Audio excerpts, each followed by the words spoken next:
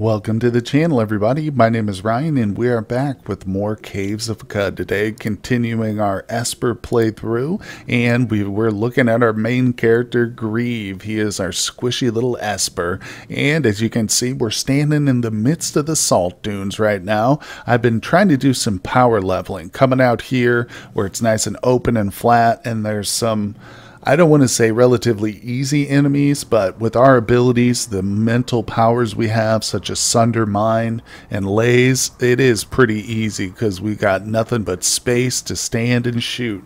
So, like I said, a little bit of power leveling, trying to get him up to level 20 just makes it so much more easy to survive. Well, that's probably not entirely true, but uh, hopefully it will be. I want to kind of keep this guy around as long as possible. Obviously, that's probably the goal everybody sets out with when they play Caves of Qud, but I do want to try and, uh, you know, undertake some of the questing that I've never gotten to and stuff. So maybe a squishy little Esper isn't the best character to do that with, but like I say, I'm just going to get a little over prepared. Ah, here we go. Can see one of my favorite targets, the Issachari Raiders. We are also looking for Dawn Gliders. They provide a lot more XP than these guys do, so that's going to be a big deal. But regardless, guys, I think we'll do something a little different today. Like I said, try and power level. So we're going to do a bit of time lapse here. I'm just going to continue to search the salt dunes, take out the Raiders, and, you know, scavenge whatever weird artifacts they have on them. But if anything, you know, really interesting pops up, of course, I'll bring you guys right right back and we'll talk about it and stuff. But for now, just enjoy some of the time lapse footage, guys. I hope you like this. Let me know what you think of this down in the comments section. And let's get started.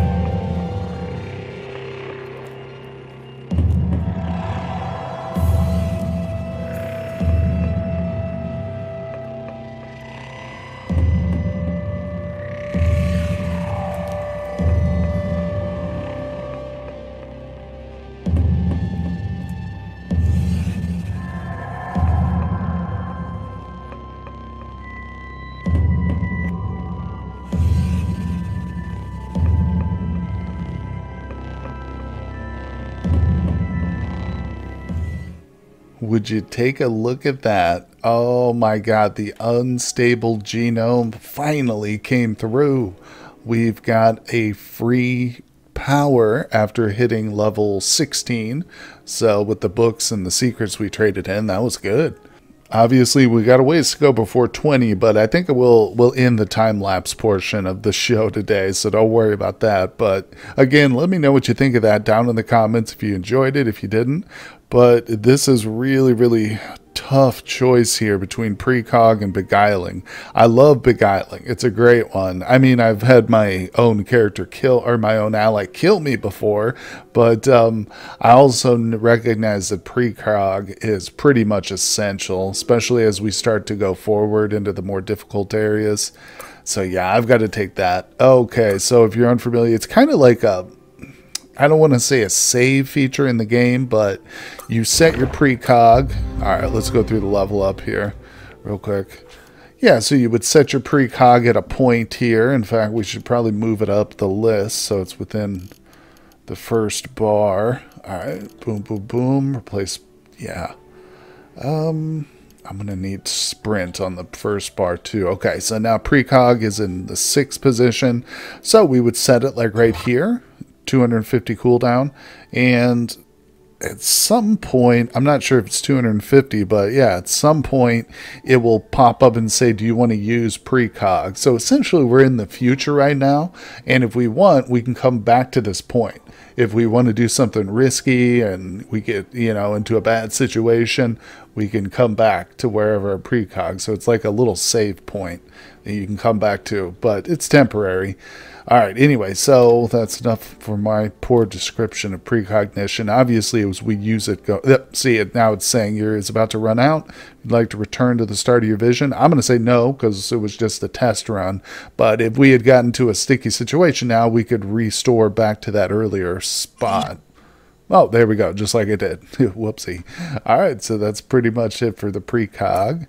Oh, look, I discovered a little secret there. All right, I don't know why I'm exploring this area, but we do need to get back out into the salt dunes. So, unfortunately, too, at some point I grew that stupid mumble mouth on my back, which is actually kind of cool because it's telling me secrets and stuff, but it knocked off my backpack, which just absolutely crushed my carrying capacity. So, oh, it's terrible. Really, really terrible. But Anyway, like I said, we will end the time lapse today, but I'm not going to make you sit through me just going through the salt dunes. Of course, unless, you know, I do find something extremely interesting, or if we decide to go below, I might get a little bored and want to try and do like a, a ruin or a historical site run, see if we can't find a uh, epic piece of loot. That, that sounds appealing for sure, but yeah, for right now, let me go a little bit longer here. And of course, on my next level, we will come right back. Oh, you know what? We've got four mutation points. Screw it real quick. Let's go and buy another mutation. Teleport out. Clairvoyance. Yes. I want that one. Oh, we're being watched. Oh, we got clairvoyance. Man, my, my hotbar is running out of space here. Dang it. So where do I put... Precog, Envision, disabled. What? Oh. Oh, never mind. Um, clairvoyance is now up front. Time dilation. Ah, well, I'll work on this. I got to set up how I like my bar and stuff, but I won't make you guys sit through that part either. As I said, though, we are going to try and power level to 20, so let me go on a little marathon. Well, this is interesting. I just found the boomstick of the otherworldly buggy. It was literally just laying on the ground out here in a, a ruins that we discovered. Man, oh man. It's weird though, and it actually provides me with the mental mutation teleportation. There it is. Grants you teleportation at level 2. If you already know it, its levels increase by 2. Interesting. It is, I don't know, it's pretty decent. I don't know if it's a musket or what, but I don't think I'm going to be trading my bow for it. Let's see, can't we compare the two? Yeah, let's see. It's definitely more power powerful than the bow, I believe. It's got less penetration, but overall a lot more damage. Huh. I wonder what it's. Oops. Let's go ahead and equip it. Let's just see if we have to reload it. Oh, yeah, we got the activated ability teleport now. That's cool.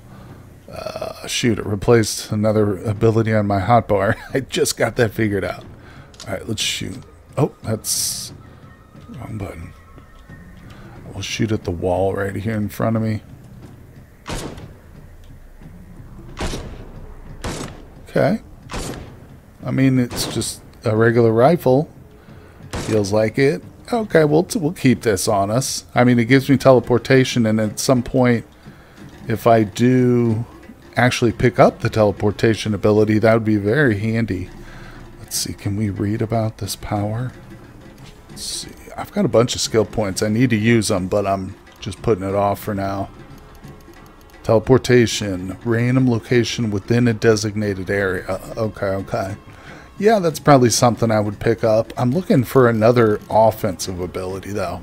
Starting to get a little heavy on my defensive stuff, but either way, let's get out of this historic site with my new, brand new weapon, the looted rifle. Although the electro bow, electro bow is pretty awesome too, so I don't know. We'll see how that goes. Oh, it's pretty dark out here. Time to wait, though. G till morning, and there we go. Sun's coming up again. Beautiful and we continue on. It's uh, actually pretty fun. I mean, there's a lot of blank screens, but I enjoy this kind of thing. Just doing some farming essentially, because this game makes it really cool too. Because you occasionally come across some weird stuff, like that gun, for instance, just laying out there in the middle of the salt dunes. Here we go. We just discovered some ruins. And I, you know what? I think that the next set of downward staircase I find, especially if it's at a ruin or a historical site, we are going to go below. Actually, test out some of these powers that we've been finding. Oh, good. I got a chrome revolver. You know what? I kind of actually want to mark that now as scrap. Yeah, treat these as scrap. Beautiful, and we'll disassemble it. All right, keep going. Very good. Ah, shoot. I don't think there's any downward stairs at this location. But like I said, first set we find, we're actually going to go below and see if we can't get some really good loot today. Well, I came across the lair of a legendary Scorpiock. so instead of going for the loot, we're going to go for hopefully what is a big experience kill. But I'm going to put my clairvoyance to use down here. This makes... Oh, wow, I need to upgrade this for sure. Yeah, but this makes our, what's it called, Sunder Mind so much more deadly. And of course, just simply because now if I happen to spot this legendary Scorpiock from across the uh, compound, I'll be able to just take him out with no fuss. Hopefully, that's the plan at least. Um, uh, I don't know. This might be more challenging than it looks. These Girshling they say they're trivial, but I mean, if I still get engaged in melee, it takes me, my laze is getting less and less effective. Yeah, I might actually have to switch over to just the electro bow, or maybe this rifle will be helpful. This is where not putting any points into agility, strength, or toughness really is starting to come back to bite me here. I think if I design a new Esper in the future, I won't neglect those three stats completely. But either way, it's just a it's a process here. You got to play it very cowardly. All right, let's go through. What do we got here? Spider.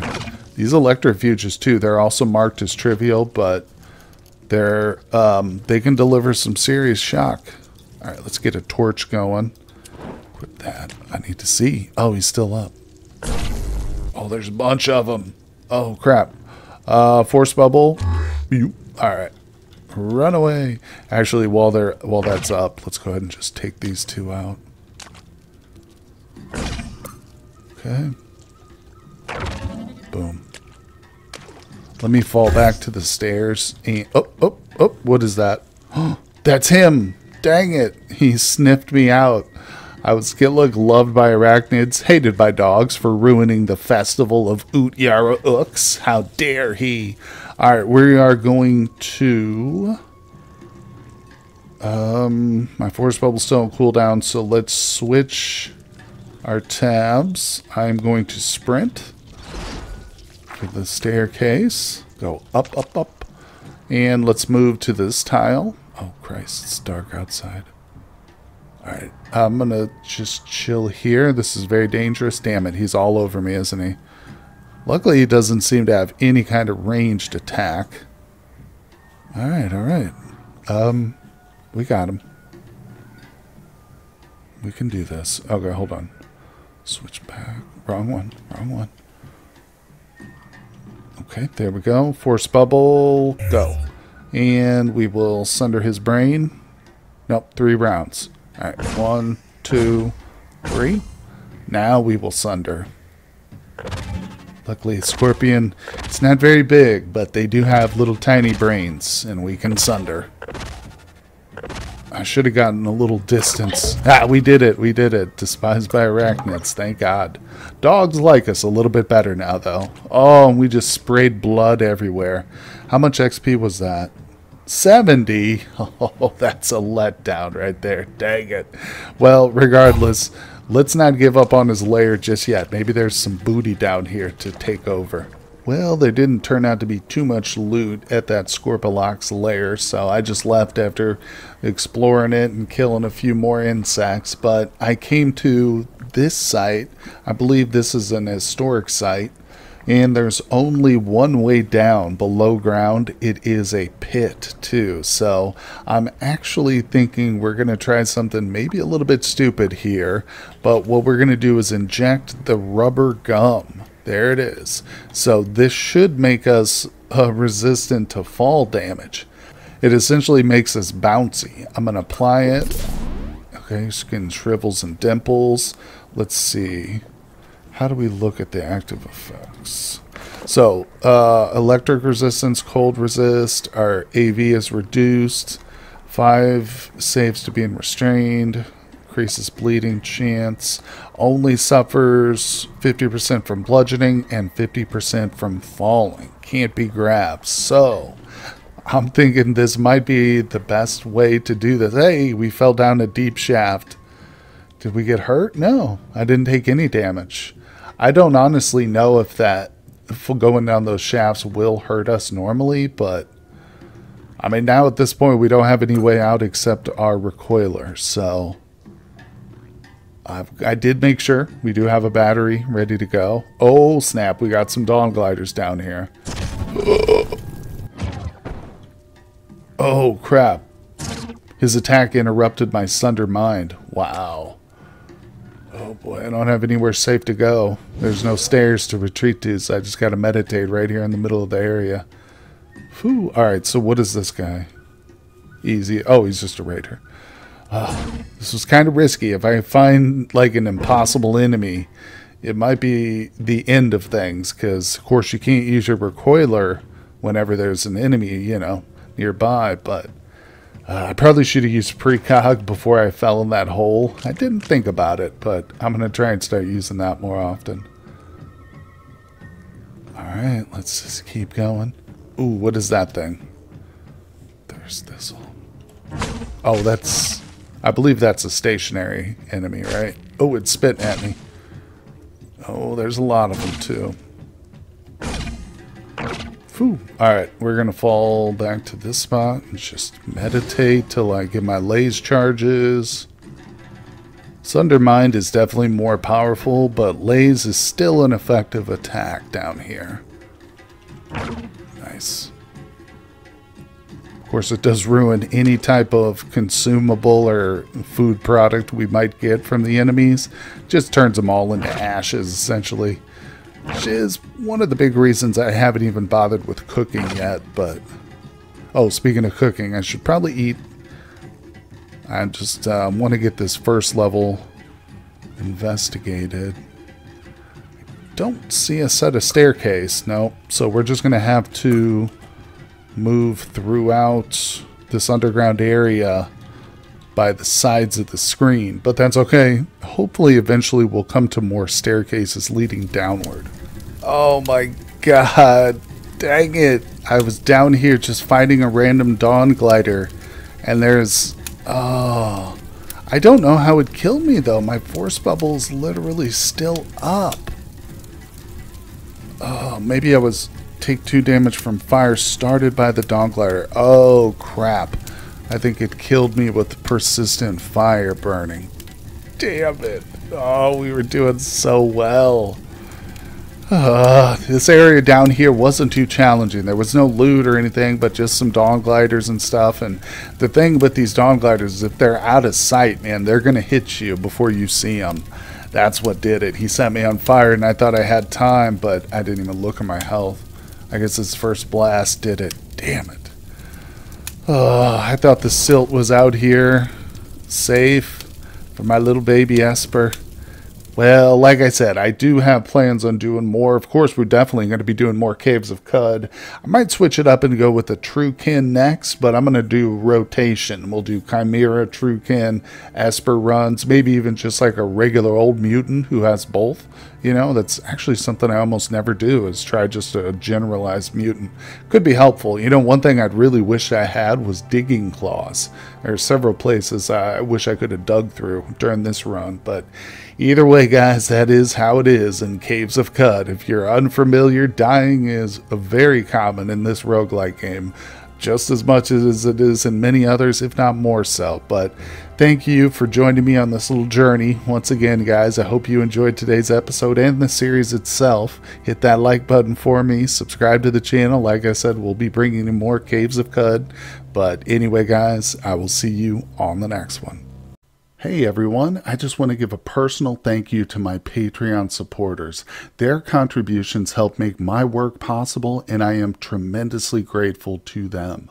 I'd also like to extend an invitation to you to help support my work on Patreon as well. Your donations allow me to upgrade my PC and avoid the dreaded hardware despair. It also gives me more time to devote to new projects and create longer content such as live streaming. No matter what you decide, thank you for visiting my channel.